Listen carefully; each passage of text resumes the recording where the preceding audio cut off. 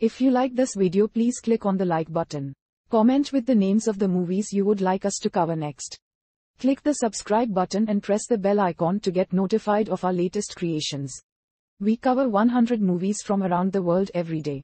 To advertise with our channel reach out to us. Our contact information is on our channel page. Now, let's move to the plot of this movie. By midnight, Saga and his friends come to know that Priya is actually the daughter of Mudaliar.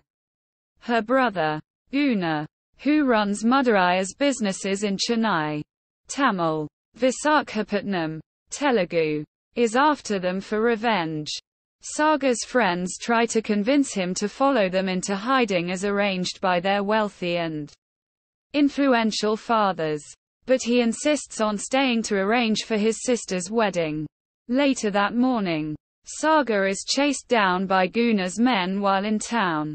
He is finally saved by Deva, Guna's henchman who realizes that Saga saved his brother's life once.